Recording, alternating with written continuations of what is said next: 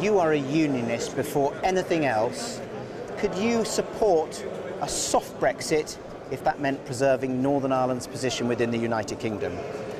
Well, uh, someone once asked me about these order of priorities, and I said I would stay in the European Union and remain rather than risk Northern Ireland's position. That's how strongly I feel about the Union.